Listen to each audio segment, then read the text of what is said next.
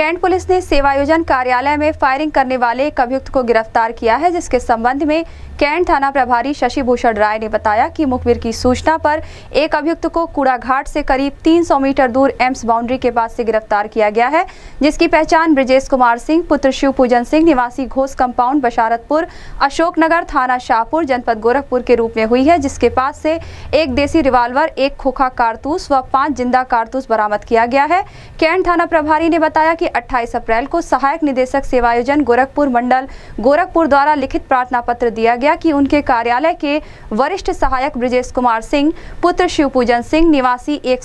Ghosh compound Ashoknagar, Basharatpur Gorakhpur द्वारा गुरुवार को सवा दस बजे नशे की हालत में कार्यालय में आए तथा आते ही स्थापना लिपिक आनंद त्रिपाठी से गाली गलौज करते हुए उलझ गए तथा अपने निजी पिस्टल से गोली चला दिए। यदि गोली किसी को लगी होती तो उसकी जान जा सकती थी, जिसकी तहरीर तहरीर पर कैंट थाने में मुकदमा पंजीकृत किया गया और ब्रजेश कुमार सिंह, पुत्र शिवपूजन सिंह को गिरफ़्तार कर जेल भेज दिया गया। गिरफ़्तार करने वाली पुलिस टीम में कैंट थाना प्रभारी शशि भूषण राय कलेक्ट्रेट चौकी प्रभारी Mahesh Kumar Chaube, head constable Kamlesh Singh Yadav, constable Govind Kumar शामिल रहे।